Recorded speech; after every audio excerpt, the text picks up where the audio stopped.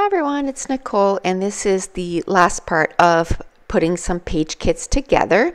So, this is the last four page kits. Now, the way I look at it, it's almost like this is like the second chance for these pattern papers and these scraps because some of them are scraps, some of them are, are pages that I had put in other page kits and I didn't use them because when I put my page kits together, as you can see right here, I have one, two, three, four.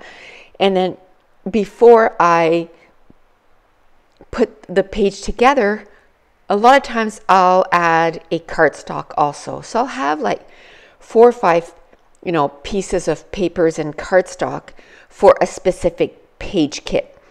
Now, sometimes I'll use a little bit of each of the pattern papers, and sometimes a pattern paper can be not used at all. So this is what I mean. It's like their second chance because this was a stack that, you know, once I was done putting page kits together, I kind of threw the leftovers in that drawer. I kind of threw the leftovers of the full sheets of pattern papers, or maybe that was a stack of pattern paper that I had gone through before and tried to make page kits with it, and these pattern papers didn't make the cut. So this is like their second chance to try to make it onto a layout and you know be in my albums. And the same thing with a lot of these embellishments. You know, I might have taken some of these embellishments and tried to use them on some other layouts and they didn't quite make it. I seem to remember putting this sticker sheet, I think it was in a big kit and I never used even one of those stickers. So now I'm going to try and use some of these stickers on some of these layouts.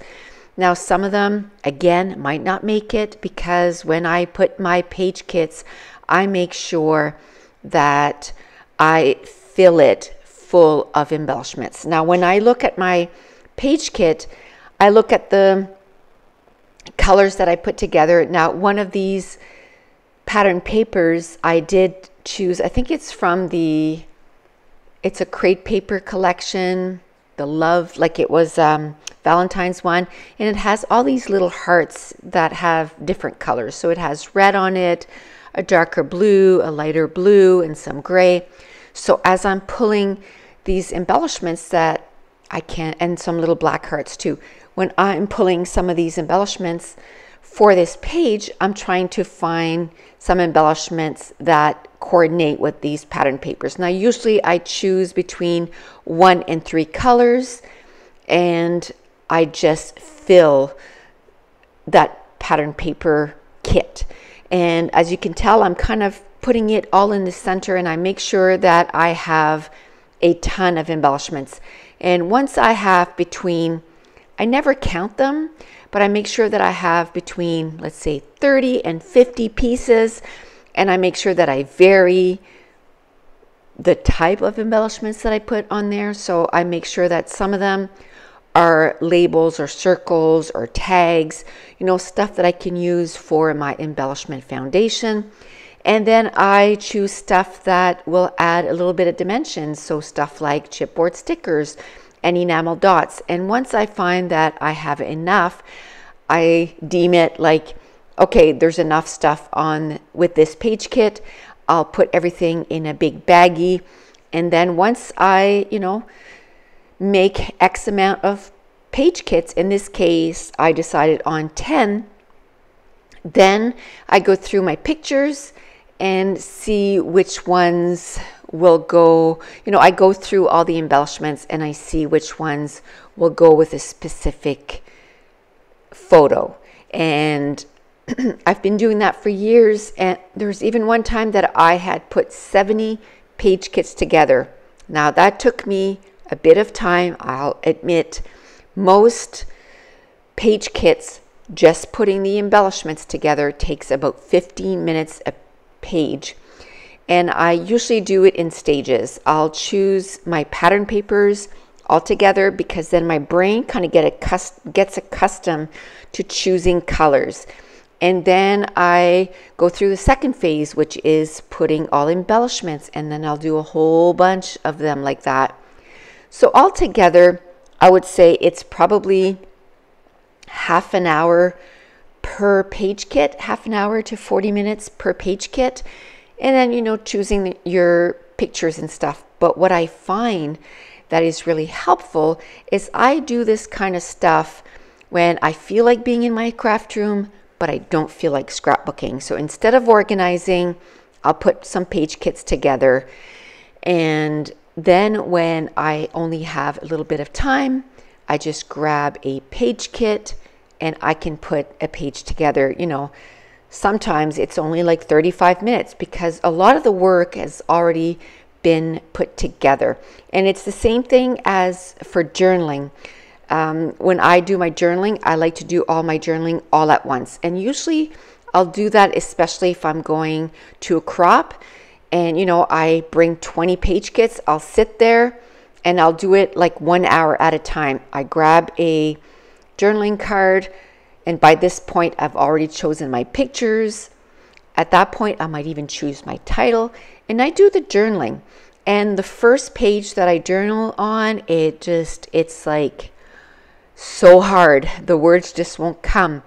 But as I'm doing page two, page three, page four, the journaling becomes easier and easier. And then when I get at the crop, because I, you know, love to chat, I just can't seem to do my journaling and chat. So this way, I just grab the journaling card that goes with that specific page and then I'm able to journal on the page without even really thinking.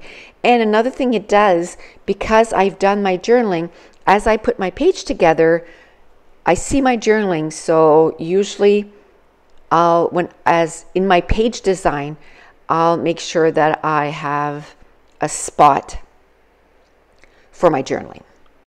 Another thing that people ask me a lot is, well, at, you know, you're really picking your embellishments at random. So how do you know that a specific embellishment will fit with a certain photo?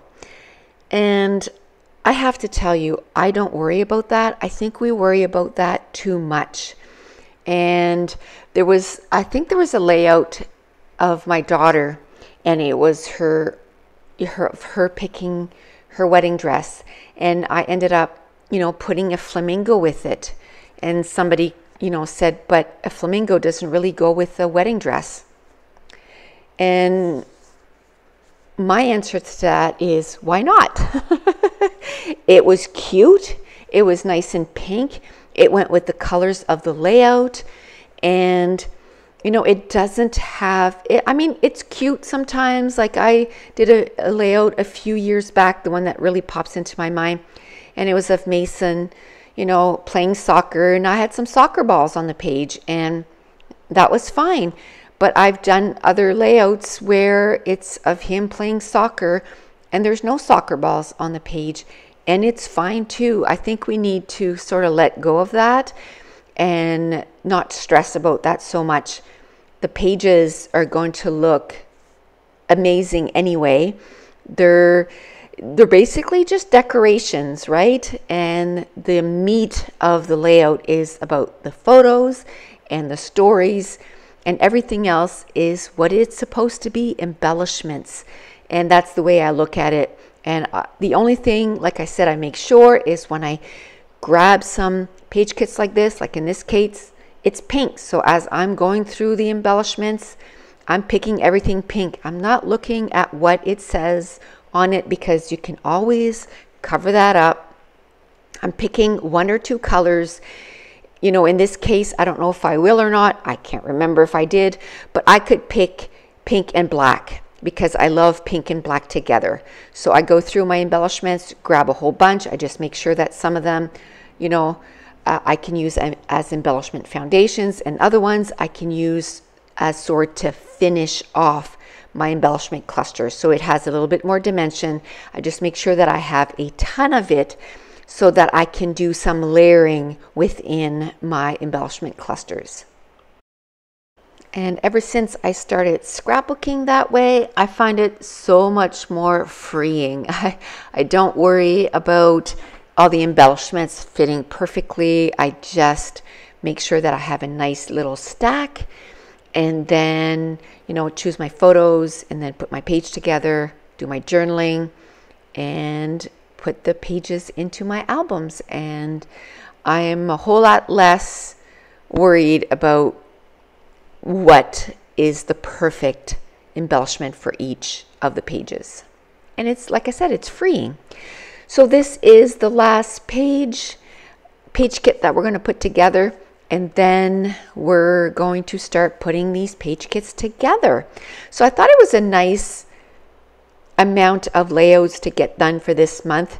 So you'll see 10 page kits done with this. And then with uh, my design team layouts, I think I'm going to have four this month. Four, yeah. So pretty much it's going to be half the month is going to be layouts and then there's going to be some mini albums in there. Uh, I'm going to start my recipe one this month too, but I don't know how much of it will be actually featured this month. My goal this month is to get my mini album done for my books, kind of get caught up to, you know, August. And I'm going to start my recipe one once this one gets done. So you, you'll probably get to see one video of my recipe, my mini album for recipes, and then I'll continue uh, working on that in September. So I'm super excited about this month. I hope you join me. And another thing that I'm really working really hard on is I'm going to be having another scrapathon in September. It was so much fun last March. There was so many people that joined and we had a blast. Basically, it's a video a day for the entire month and every day we have a new challenge, you know, something new that we need to use to make a layout and I upload a video every day. And then I have a Facebook group and we chat every day on the Facebook group, and it's so much fun. So be on the lookout for that. I'm going to be releasing that class around the 23rd of August, 23rd to 25th, so that you have a chance to get ready and have your page kits ready to get going for September 1st. But that's it. That's the last layout that I'm going to put together. So if you're new to my channel, don't forget to hit subscribe. And if you're enjoying these videos, if you wouldn't mind, give me a thumbs up and leave me a comment down below so that we can chat in the comments. And I want to thank you so much for watching. Bye.